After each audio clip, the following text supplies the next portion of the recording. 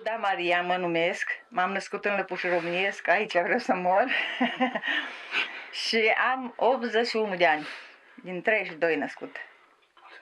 Mulțumesc, tapi vai creines. Până câte am trecut și câte am suferit, mă mir că i-am ajuns. Dacă în 52 ne-o luat și ne-o dus, de aceea, ca și cum ai dus tu niște hoți. Dar un an de zile m-am prezentat la poliție. Miliție era atunci, acum știi mama dorului, că nici nu mai știu.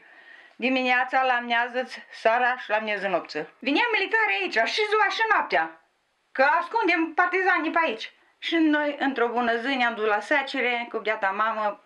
Tata meu săracul era la marhă pe Zâmbrița, 60 acolo pe valea asta în sus. Și am venit de la secere și ne-am dezbrăcat de hăinuță cum am făcut, de ne-au plouat. Și am rămas cu niște hăinuță slăbuță pe noi curate să ne putem... Pă, la miezul nopții nu am auzit cioc în ușă și larmă afară. Ne-am speriat de numai nou, crepat inima noi. Și apoi am ajuns în Bărăgan, Unde? Unde? În Bărăgan? în uh, Jegălia, gara Jegălia. De acolo a venit o mașină, ne-a luat din vagoane jos, un vagon de ăsta marfar ne-a băgat. Ca așa ca pe porci. Și fără mâncare și fără nimic. Și cu trei hăinuțe pe noi.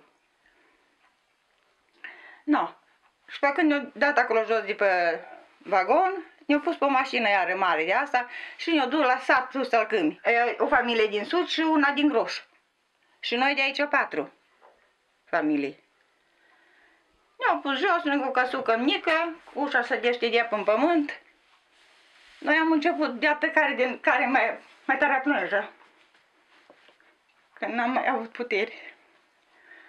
Și apoi s-a strâns lumea până noi de acolo. Că acolo erau oamenii aduși după 49, din 50, din 51. Au făcut sat acolo.